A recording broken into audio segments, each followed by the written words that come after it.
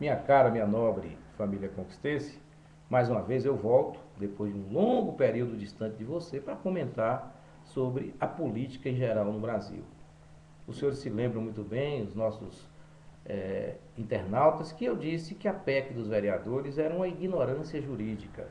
Não que eu estivesse contra o aumento das cadeiras dos vereadores nas respectivas câmaras.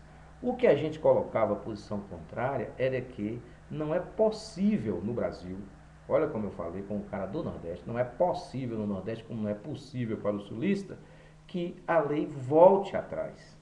E aí o pleito que se resolveu em 2008 não poderia de forma nenhuma ser maculado pela intenção de 7 mil vereadores e de, de 7 mil, desculpe, de 7 mil suplentes de vereadores e alguns congressistas irresponsáveis que só pensam exclusivamente na sua eleição de deputado federal ou senador. Acontece que o direito existe e existe há muitos anos.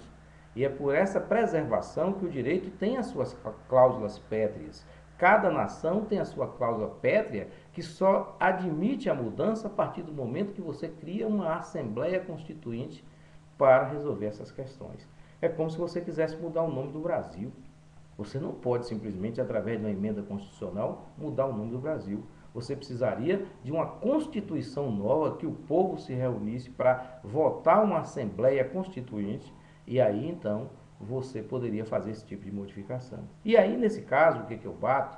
Pé firme, porque alguns companheiros, alguns colegas que são advogados entraram nessa onda de simplesmente desmanchar tudo que aprenderam na escola.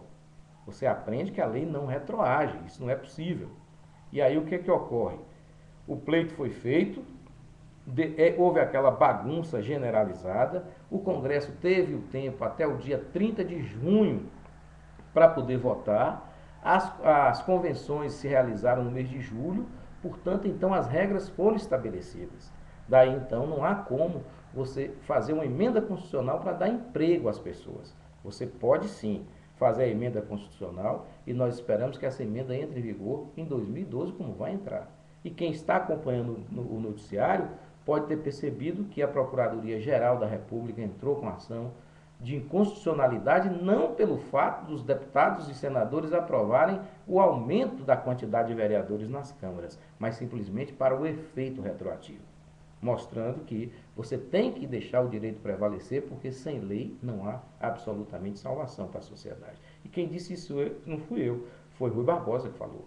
Então, partindo desse princípio, acaba-se então a grande questão de que nenhum, nenhum suplente de vereador vai tomar posse. O que eu acho ruim para todos os, os, os possíveis postulantes é que todas as pessoas que estavam no Congresso Nacional sabiam disso e enganaram todos os suplentes. Esta é a mais é a mais visível realidade, porque todo mundo sabe, e eu coloquei muito bem, trata-se de uma ignorância jurídica. Bom, então esse ponto passado para 2012 nós teremos em Vitória da Conquista uma disputa com 23 candidatos. O que também é importante frisar, que não poderia de forma nenhuma acontecer. Como ficariam aqueles que perderiam o mandato?